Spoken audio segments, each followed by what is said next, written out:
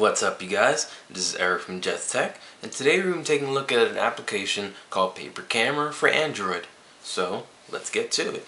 Paper Camera is a simple photo taking app. It has the drawn on paper like interface which you have the ability to change the contrast, the brightness, and something called lines. Now let's bring in something better highlight this.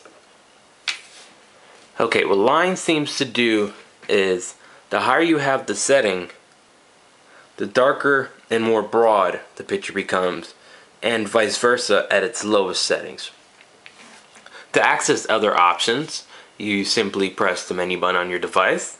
It brings up the option to zoom in or to zoom out, enable or disable flash, email the developer, or share via various social networks. Alright. But the real highlight of this app is the filters and effects that it offers. This one is one of my favorites. It's called Comic Boom. You also have Andy Pop, Pastel Effect, Granny's Paper, Halftone, Gotham Noir, and plenty more. Okay, now all you have to do to take a photo is tweak the settings to your liking. Okay, change up the contrast and brightness. And change up the line settings. If I can get that, there we go. And you just choose the filter you want. I'm going to choose Pastel Perfect. Then you just press the red camera button on the bottom right corner of the app. Take a picture it's done. There's your preview and you can choose to share the app. I'm sorry, share the photo. You can share it over Bluetooth. You can upload it to Docs or Dropbox if you have those apps installed. Post it on Facebook. Email it. Put it on Twitter. All that you would expect. Okay?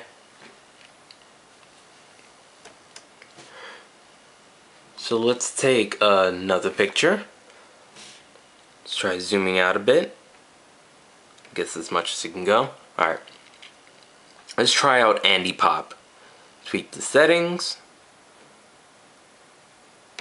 And just press the red camera button. It works fast. Just a small time to process. You can share it like I said. But we're not going to do that. And that's pretty much it. There isn't a whole lot to the app. There's two features that I hope the developer decides to add, such as front-facing camera support. Most phones come with front-facing cameras, so I think that would be the next logical step for this app. And also video support. The developer has already committed to video support and front-facing camera support last I heard, which is probably the only two features that are missing to complete this app.